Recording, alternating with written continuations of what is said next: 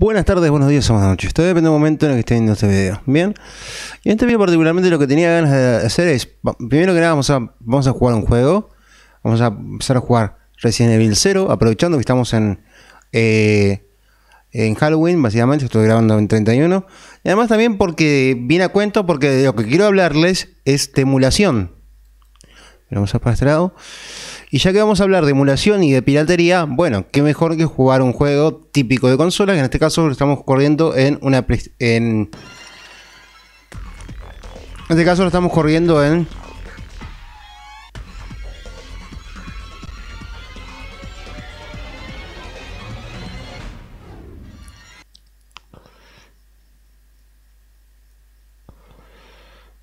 Ok. ¿Qué pasó acá? ¿Qué pasó acá?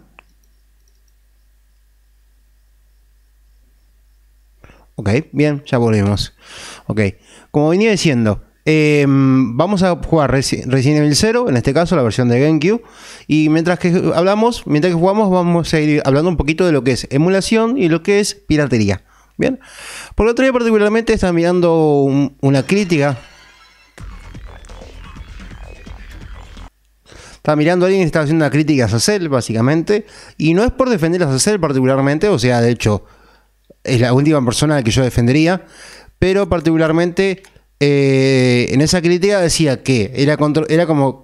Decía que es una, es una contradicción. O sea, estaban reclamando como una contradicción de Sacel el hecho de que él está en contra de la piratería, pero está a favor de la, de la emulación. ¿Bien? Y eso no es una contradicción, básicamente, porque no es lo mismo. Eh, a ver, Emulación y... Eh, vibración sí, vamos a ponerlo en configuración de mando eh, tipo ACID normal, versión de sonido, vamos a bajar un poquito el volumen, vamos a bajar el volumen de la música. Vamos a bajar los efectos, vamos a dejarlo alto igual. A ver si me quedo si me lo guardo, ok, ok. Ok, Mm, a ver, puedes estar a favor de la emulación y en contra de la piratería. Sí, puedes estar. Pero la idea de este video es que vamos a explicar un poco las dos cosas. Bueno, voy a poner en fácil porque mm, si voy a estar hablando mientras estoy jugando, de por sí ya es un juego que a mí particularmente es un juego que me resulta bastante complicado jugarlo de forma normal, jugando solamente. Y si además estoy jugando, tengo que estar hablando, voy a poner en fácil. Bien. Eh, no es que yo siempre juego en fácil, por lo general yo juego en normal. Pero bueno, en este caso. Eh,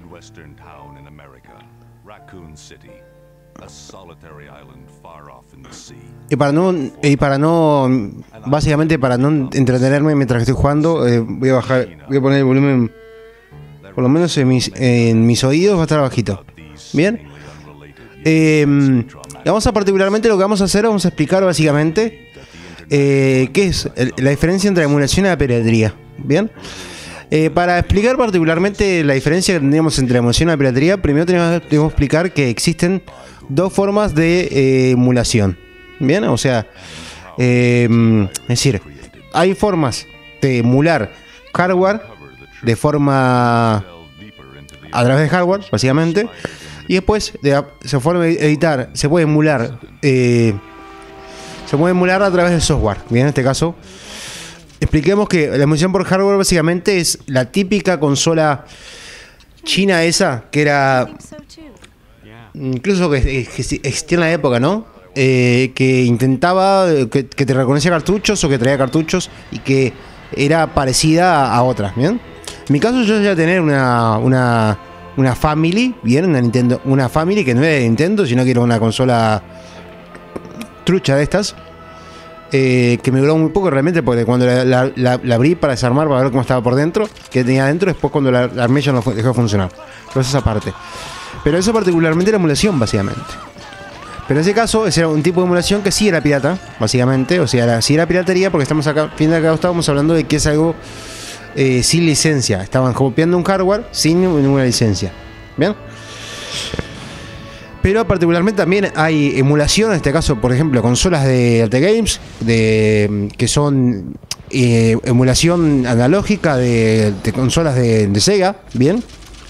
que traen una memoria integrada y que además soportan cartuchos, por ejemplo. Y eso es emulación, al fin y al cabo. Son clones, pero en este caso son clones oficiales, o sea, hace emulación por hardware. ¿Ok? Y después luego tendríamos lo que es emulación digital, que es ya es la diferencia sería que eh, la emulación digital básicamente es una emulación por software. Bien, no se recrea el software original, sino que a través de un programa de software, en este caso a través de un software, se eh, replica o se intenta replicar las condiciones en las que se leía un cartucho. Bien. Eh, tendríamos, que explicar básicamente que existe una forma de que la forma que se usa para emulación, por lo general, siempre son algo que se llama dampeos, o en este caso dampear, o en este caso hacer rooms, o hacer respaldos de tus juegos. ¿Bien? Por lo tanto, tanto, ya sea tanto lo que es la emulación analógica como con la que es digital, o sea, lo que es eh, por hardware o por software, se hace en base siempre en base a rooms. ¿Bien? Es decir, en aquel momento, antes de que existiera la emulación digital, en este caso la emulación por eh, por software, la gente lo que hacía particularmente era que eh, un cartucho original, bien, porque los cartuchos se rompían o, qué sé yo, o por una cuestión simplemente de coleccionismo, bien, porque la gente le, le gusta le, gusta coleccionar, entonces lo que hacía se hacía un, un dampeo, lo que se un respaldo de un juego, básicamente, tú compras el juego, haces un respaldo, y en este caso eh, pasas esa, el, ese respaldo a un chip genérico. Bien, en este caso un cartucho genérico o en este caso que también en aquel momento, mm, a ver, no se piensen que la que la piratería es, algo nuevo tampoco. De hecho, en la época de los cartuchos también pasaba. En la época de los cartuchos había gente que hacía lo llaman eh, repros, básicamente, que era eh, eran copiar la EPRO, básicamente, o sea, la memoria de un cartucho y en base a eso hacer un cartucho nuevo. Bien, un cartucho de baja calidad, básicamente, por lo general, de baja calidad, pero bueno. Y se, podían, se pirateaban básicamente, tipo cosas. Pero bueno, ya le digo, particularmente se podía hacer, lo que tú podías hacer era que tú podías copiar esa EPRON, en este caso la memoria de un cartucho, y meterla dentro de otro cartucho, bien, en este caso como un respaldo, bien. Entonces podías usar el cartucho original o usar este que tú no tenías, que era una copia básicamente, y, o si no, simplemente tener, tenerlo ese por si mañana se te rompía el que tú tenés. O sea, es como un respaldo, básicamente. Si su día de mañana ese que tú tenés se te rompe, tenés este otro que es eh, una copia, ¿bien? Pero como es una copia legal, porque al fin y al cabo es una copia tuya. ¿Bien? Es un respaldo que tú tenés de tu juego. ¿Bien? Particularmente, por lo que se hizo, particularmente es que eso se convirtió en formato digital. Básicamente eso se pasó a un y ok, vamos a ver.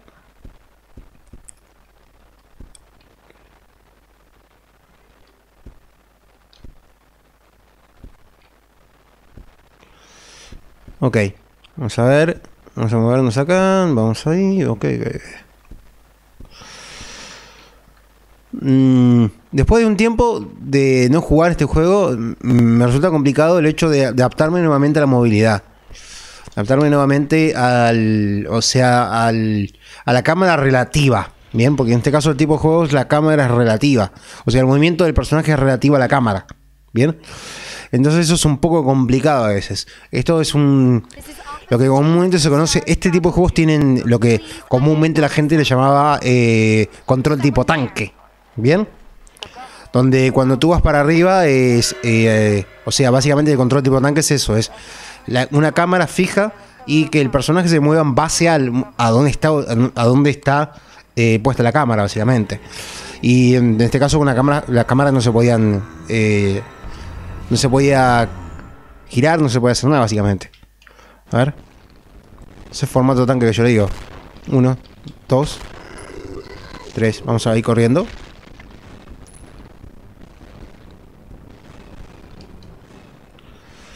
Eh, a ver, si notan un poco eh, que el juego está un poco lento, puede ser en principio, puede ser básicamente porque el juego está a 5 FPS en vez de a, 30. Bien, yo jugué este juego, la versión de, en este caso de eh, americana y no la, no la europea, que es esta, y la versión americana se, eh, va más rápido, básicamente. Pero yo como la quiero jugar en español, básicamente yo por la historia, yo juego por la historia y para entender la historia lo juego, lo juego en español. Tengo la room que está en, en- eh, la room europea que está a 25 frames, básicamente. O sea que el, perdón, sí, va 50, hay partes que van a 50 frames y hay partes que va a 25. Bien, pero eso es otra cosa. El diario del pasajero. Ok, aquí por ejemplo vamos a ver unas, cosas, interesantes que tenía este juego. En este caso de, del hecho de que estaba en fácil, es que en fácil eh, tenés mucho más ítems. Bien, como por ejemplo acá tenemos un spray, un spray de primeros auxilios.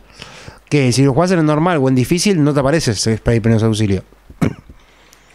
De hecho, eh, jugando en, norm- en normal o en difícil, ahí no, te- ahí no, tenés- o sea, tenés que arreglarte con plantas y las plantas, eh, en este caso, te empezás tres plantas para recuperar una vida completa. Es decir, tres plantas o plantas combinadas. Y en el caso del spray, es con, es con un solo spray, eh, recuperas toda la vida completa prácticamente. ¿no? Sa- Salís de caution. O sea, si estás en rojo, pasas amarillo y a- de amarillo a verde. De amarillo y verde. Eh, ya digo, con, con- las plantas no. Entonces, esas son una- unas cosas también. Que tiene. El caso este del hecho que sea fácil es el hecho de que los enemigos mueren con menos, disparos. Mueren mucho más fácil. Y el hecho de que eh, mm, tenés mucho más ítems. Y creo que incluso tenés mucho más balas también. Eh, las balas que te aparecen te aparecen en el mismo lugar, pero te aparecen mayor cantidad. Ok, no la agarré. ¿Ven a lo que me refiero? Cuando estoy hablando no puedo... eh, que cuando estoy jugando... Cuando estoy hablando no puedo... Ahí tengo otras balas.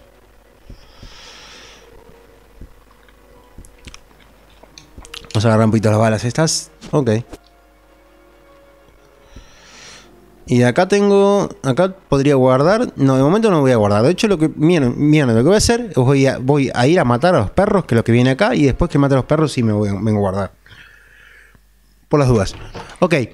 Y bueno, lo que yo estaba diciendo particularmente, ya digo, con la emulación de en este caso, la emulación por software, lo que pasa es que aparecen los emuladores, bien, los programas de emulación, los emuladores, que el, punto a tener en cuenta, en este caso, al momento de hablar de emulación, de emuladores, es que para que la emulación sea legal, el emulador no tiene que tener eh, código eh, de terceros.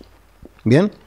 Y con código de terceros me refiero a que eh, en el caso, por ejemplo, del una- si es un emulador de PlayStation 1, o, de- o sea, PlayStation, o de Nintendo, o de, o de quien sea, eh, no se puede utilizar, en el código fuente no se puede utilizar, en este caso, códigos de ni de, so- ni de Sony, ni de Nintendo, ni de nadie, básicamente. En ese momento es el emulador es legal. Por ejemplo, Dolphin, que es este programa que estamos- estamos viendo, es un programa de código abierto que no utiliza ningún tipo de eh, ningún tipo de código de terceros ni usa ningún tipo de BIOS o de rooms, bien, externas. Bien, ningún tipo de BIOS. Bien. Básicamente para que entiendan que es una BIOS, una BIOS es un respaldo que se obtiene de una consola, bien. El firmware, en este caso, el sistema operativo de, de una consola es lo que permitía en su momento eh, reconocer determinados tipos de juegos, bien. Eh, y era lo que particularmente cuando tú pirateabas una consola, cuando tú tenías una PlayStation 1, una PlayStation 2 pirateada, lo que hacía particularmente era que cuando iniciabas esa consola, te reconocía, o sea, cuando iniciabas un juego, te aparecía un nombre, Matrix o cosa, lo que sea- ¿no? Y había ciertos, ciertos eh, en este caso, había ciertas, ciertos cracks de- de las consolas que te reconocían. Algunos juegos sí y otros juegos no. Que yo recuerdo particularmente la- el, por lo menos en PlayStation 2, el Matrix, el hack Matrix era la BIOS más completa, reconocía casi todos los juegos, casi todos los juegos. Mm, creo que había muy pocos juegos que no reconocía el- la traba Matrix. Bien.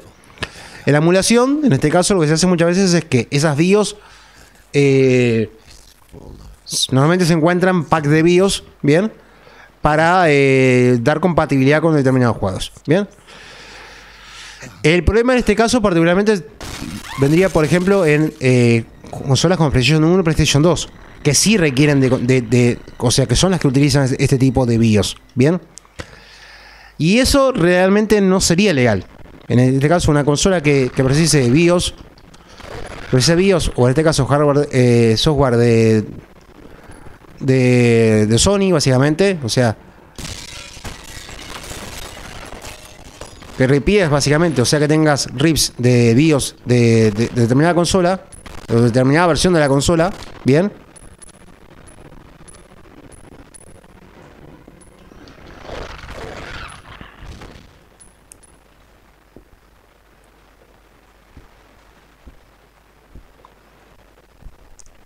Ok, como les decía, en ese caso eh, es complicado porque ahí ya deja- dejaría, estaría fuera de la legalidad, llamamos al caso. Bien, porque está usando código tercero.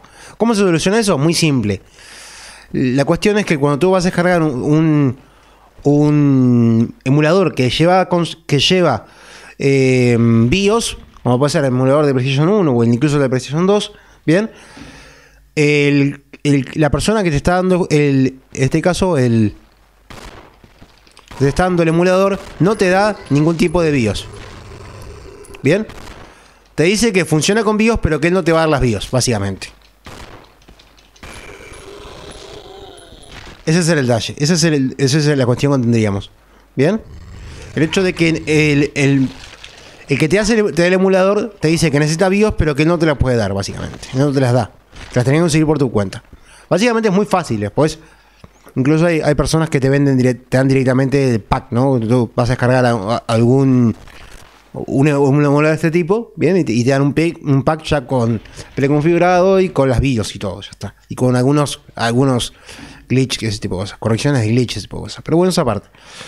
Pero ya le digo, así, a ver, lo que yo me refiero es, lo que yo quería comentarles es esto, es que la emulación es legal hasta cierto punto. Mientras tanto, que no se está utilizando código fuente de la compañía oficial. Bien. En el caso de Sony, mientras que el emulador no tenga código fuente de Sony. Bien. Eh, y llegamos al caso, lo que es actualmente la emulación. Tenemos actualmente tenemos consolas como la, como la NES Mini, como la Super NES Mini y la Sega, bien, la Sega Mega Drive Mini, que son emulación básicamente. ¿Cuál es el detalle? ¿Cuál es el, cuál es, ¿Qué sería lo no muy legal o lo más o menos legal? O, o sea, lo que no sería legal. A ver, lo que sería ilegal es la emulación.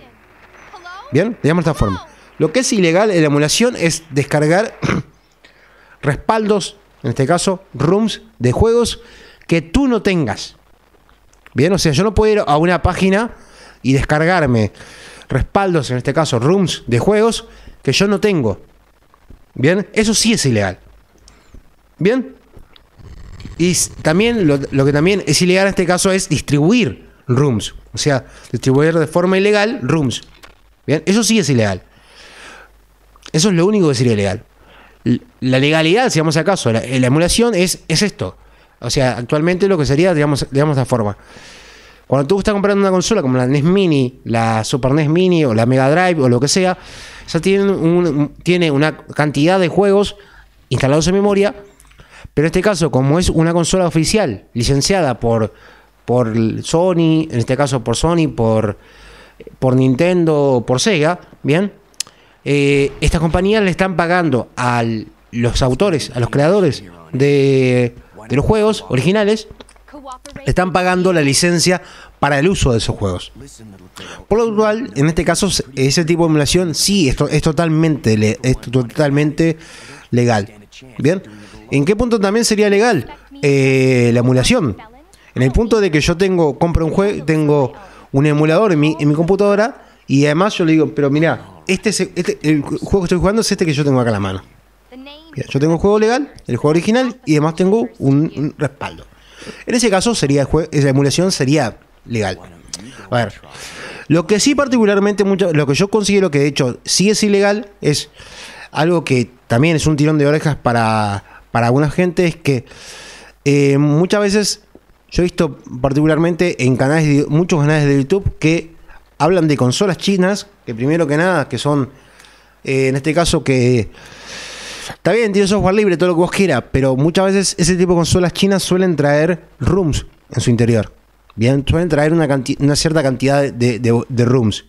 Entonces, las consolas chinas, primero que nada, que es. eh, mm, no serían ilegales las consolas en sí mismo, siempre y cuando lo que estén usando, o sea, en este caso no siempre y cuando traigan juegos precargados.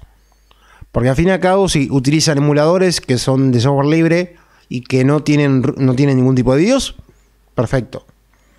Pero si ya, trae juegos precargados, más allá de, lo que podríamos decir, de que, de que la calidad de la emulación no es buena o que la cantidad de construcción de la consola tampoco es buena, mientras que la consola no traiga ningún tipo de ningún tipo de juegos precargados, ¿bien?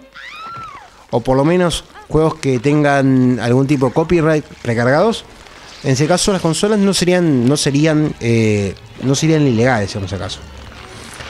A mí particularmente me es complicado eso cuando cuando tengo que eh, hablar de, un tipo de, de ese tipo de consolas que muchas veces tipo de consolas muchas veces traen juegos precargados. Pero si tú compras una consola, por ejemplo, si compras una consola china, ¿no? Que esa consola viene con. Que trae emuladores, ¿bien? Pero no trae ningún juego precargado. O los que trae son juegos eh, de licencia gratuita, por ejemplo. O sea, juegos de, no sé, hechos por, por ellos o, cosas por el estilo. En ese caso no sería ilegal, básicamente, ¿no? Pero esto particularmente, eh, más o menos para ir redondeando, la explicación es que la emulación no es piratería. Son cosas diferentes. Bien, para mí, por lo menos, desde el punto de vista legal, la emulación en...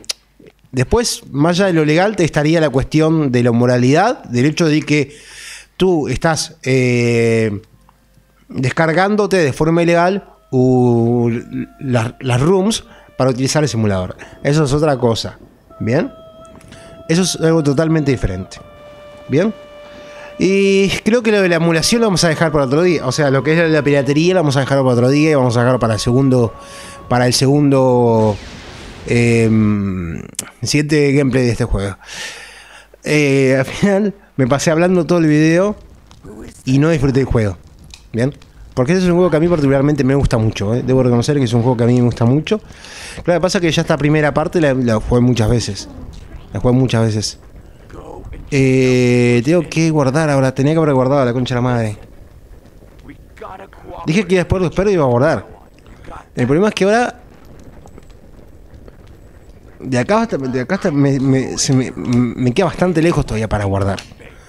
Así que bueno, voy a. Lo que yo voy a hacer particularmente es. Eh, voy a. Mm, seguir un poquito más hasta el primer punto guardado y ya lo dejaremos. Eh, cambio de personaje será eh, Stick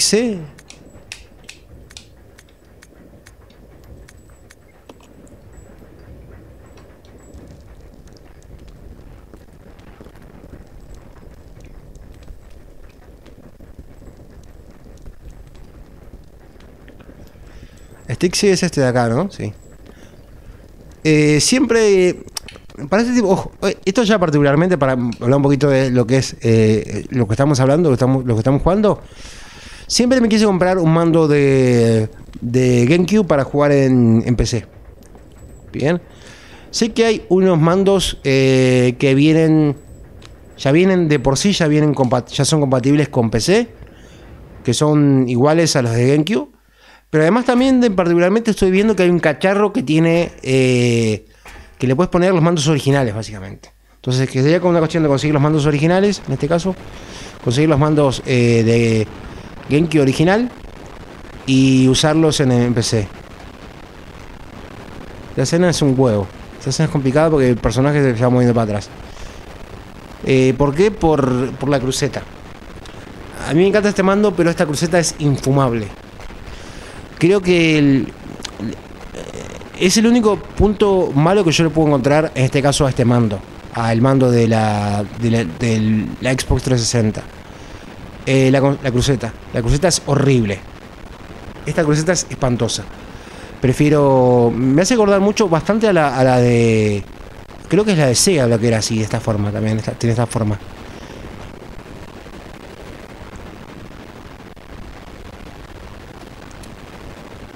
Y movete para acá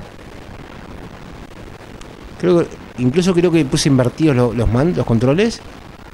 Sí, están invertidos los controles. La concha de la madre están invertidos. Porque yo me estoy moviendo para. El personaje está moviendo para derecha, yo me estoy poniendo, moviendo para la izquierda. O es el. No, es el control de la cámara. Es lo que yo le decía particularmente. Que como la cámara está vista de atrás, eh, me, invierte el, me invierte el movimiento del personaje, básicamente. Pero bueno. Eh, y no, ya le digo, es eso. Es incómoda, es muy incómoda esta, esta, esta cruceta, particularmente es muy incómoda. Bien, esta, esta perdón, sí, la cruceta, Lipa, básicamente es, incómodo. Eh, y otro detalle también tiene estos mandos, que también ya, ya de paso les cuento, y es que los gatillos, bien, los gatillos se rompen. O sea, los gatillos en este tipo de, en esta consola, en este tipo de mando, perdón, se rompen muy fácil. Eh, no, es que se, no es que rompan en sí mismo, sino que lo que pasa que es que eh, si bien los botones funcionan, eh, pierden un poco de sensibilidad. Bien. Es decir, cuando tú, yo toco acá, a veces, se a veces se estranca, a veces se traba el botón, que ha trabado acá, y no es lo mismo. O sea, este por ejemplo, que esto funciona bien, este no tanto. Este a este, ¿ven? ¿Escuchan? Cuando yo lo toco, hace ruido. Este otro, si bien se activa, funciona y todo, no hace el ruido, o sea, no hace el clicking, no tiene el clicking típico. Pero eso es algo que pasa con este, con este tipo de mandos. Por más que esto, de hecho, eh, este particularmente es una imitación, ¿no? Pero hasta donde yo tengo entendido, esto es un error de diseño, porque de hecho, Em, en los, mandos originales pasa lo mismo, de hecho. Incluso he visto gente explicándote cómo arreglar los mandos originales porque tiene el mismo error, básicamente. Eh, con este tipo, con el mando este, este creo que no se, con estos mandos que no son, que son copias no se puede hacer, pero los originales tienen el mismo error, o sea, es un defecto de, diseño, básicamente. Eh, vamos a hacer una cosa. Ok. Vamos a hacer una cosa. No.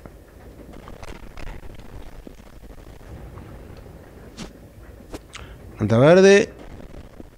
Y acá tenemos balas. Acá creo que tenemos dos balas en vez de una.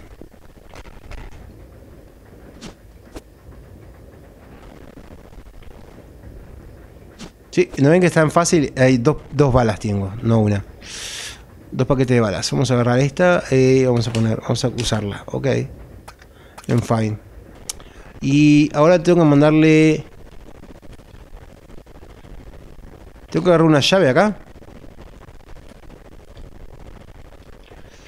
Ah, puta costumbre que tengo de, de irme moviendo con apretándola. No, no, no, no, no.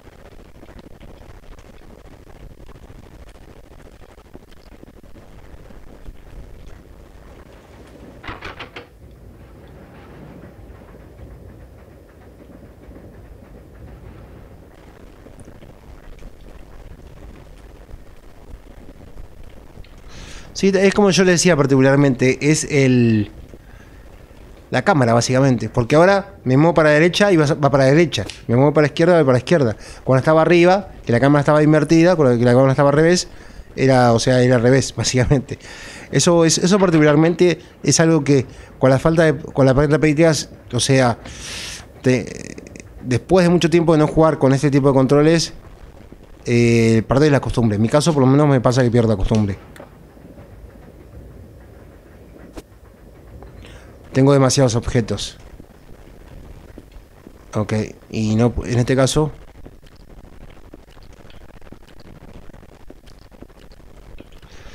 Y bueno. Vamos a mandarle la llave.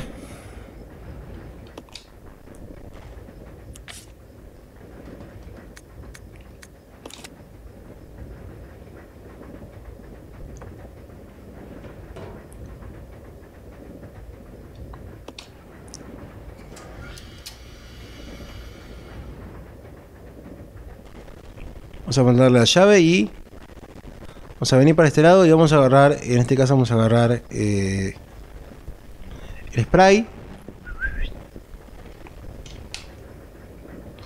Ahora tengo que tener espacio. Ahora vamos a cambiar de personaje, ahora vamos con el otro. Ok, vamos a ir para allá y tenemos que venir para abajo. para abajo. Y ahora con este personaje me cambia de nuevo la misma, o sea, en este caso me vuelve a cambiar el, el control. Pero bueno, eso es algo que... El detalle, yo digo, con este mando es, es que es incómodo jugar con este mando, es incómodo eh, jugar con la cruceta, con la cruceta direccional porque es horrible. Ojo, no estoy, no estoy echando no le estoy echando la culpa al juego, simplemente estoy diciendo que el, mando es, es, feo, nada más.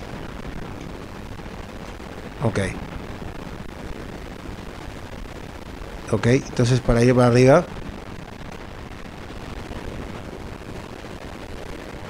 Para ir para arriba es para abajo.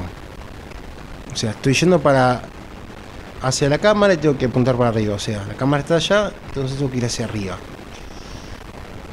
Incluso va un poquito de costado el personaje también. Supongo que por el agua, por la lluvia, básicamente. Y. ¿Qué más iba contando en este detalle? Era eso, que yo te van a comprar un, mando de, de GameCube. Porque los mandos de GameCube tienen. A ver, son. Eh, bastante parecidos a estos, de hecho. Interesante que son bastante parecidos a estos. Bien. El que tiene es que, primero que nada, que para jugar este tipo de juegos eh, normalmente los botones que te dice, te dice el, botón C, el botón Z y cosas por el estilo. En este mando particularmente mm, lo puedes acercar básicamente, más o menos, pero la Z y eso tipo de cosas no están. Bien. Y en este caso eh, tiene pinta igualmente tiene mucha tiene pinta de que es eh, cómodo el mando de GameCube realmente. Pero yo antes de comprarme mando de GameCube para, en este caso para PC, eh, tenía que comprarme también para la, para, para la Wii. Yo tengo una Wii y yo en la Wii podría jugar este juego particularmente. Y teniendo mando, básicamente teniendo el mando de, de, GameCube, porque para juegos de GameCube que usar el mando de GameCube, podrían jugarlo también.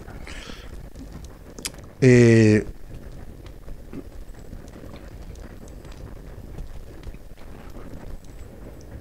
Bueno, vamos a terminar. No quiero. Creo que no comentamos nada de acerca del juego, ¿no? Pero bueno. ¿Puerta?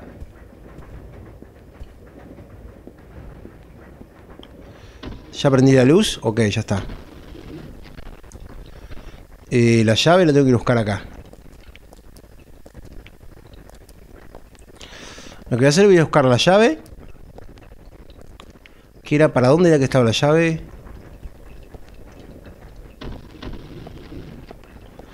No me acuerdo de momento, no me acuerdo para dónde era la llave, pero y también y voy a o agarré la llave y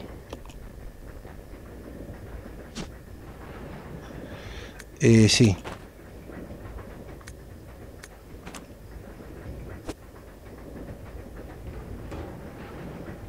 Y ahora vamos a ir, vamos a volver con otro personaje y le voy a mandar eh, el Raybon también. Voy a mandarle el Raybon, o sea, para que guarde básicamente.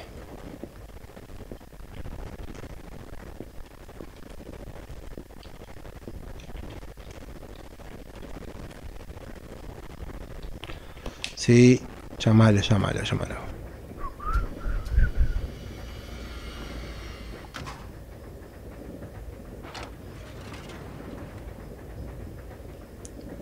Colocar objeto, sí. Y vamos a mandarle...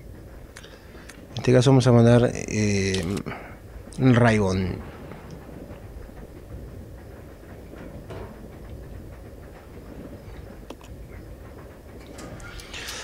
Para mí particularmente es uno, quizás uno de los mejores juegos de la saga, por eso, porque es un juego que la parte operativa estaba buena. O sea, el hecho de que cada personaje tuviera una habilidad diferente ¿no? O sea, tuviera, es diferente y que pudieras completar, en este caso que había ciertas... Eh, que la...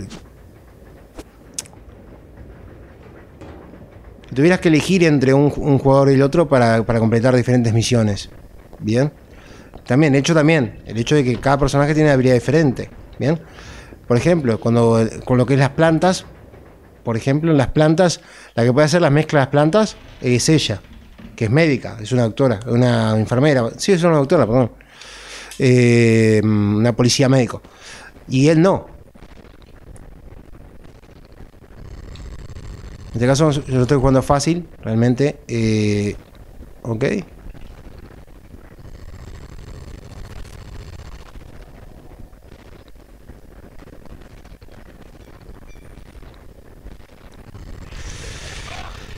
Y otra y la virtud que tiene él particularmente es que es un personaje, él es mucho más fuerte, o sea, a él particularmente es mucho más difícil que, que eh, básicamente matar.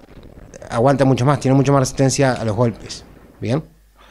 Y creo que también tiene mucho mejor, tiene mejor puntería también, no recuerdo mal, no recuerdo cómo es, pero tiene, o sea, cada uno, cada personaje tiene su virtud, ¿no? En el caso de ella, por eh, por su oficio, por el hecho de que es una doctora, entonces puede usar, eh, puede usar, puede hacer combinaciones de, medicinas. Y él por el hecho de que es un militar, básicamente. No es, no es una cuestión, en este caso, la explicación de que te dan de que uno puede hacer una cosa porque es, eh, no es porque sea hombre o porque sea mujer, sino por el hecho en este caso de que ella es una doctora, entonces ella puede hacer mezcla con, con plantas medicinales y él es un militar básicamente de alto rango. Ahora, o sea, la gracia, ¿no? O sea, en realidad es un militar de alto rango y supuestamente mató a personas. Mató a varias personas y por eso lo estaban por llevando para matarlo, básicamente. Pero bueno, eh, creo que la, llave esta la tengo que usar ya. Voy a usar la llave, básicamente, y voy a guardar ya. Si no recuerdo mal, la llave esta era de acá.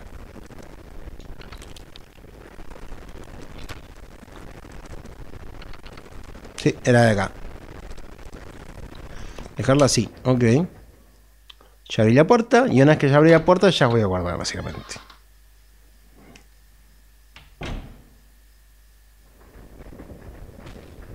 Ven, acá tengo dos plantitas, una roja y una, verde, en este caso. En el caso de las plantitas rojas, o sea, lo que son plantitas, la, la plantita roja y la plantita verde se combinan. Pero él no puede hacerlo. Vamos a probar. Van a ver él no puede hacerlo, por ejemplo. Eh, combinar. Billy no, lo puede usar. ¿Ven? Billy no puede hacerlo. De embargo, Rebeca sí. Eh, y.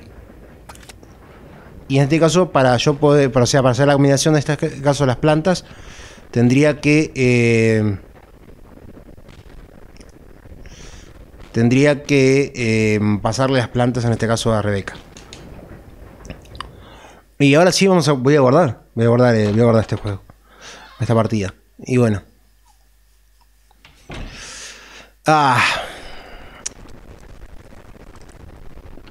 Y ya cuando guardemos ya voy a, voy a terminar el video básicamente.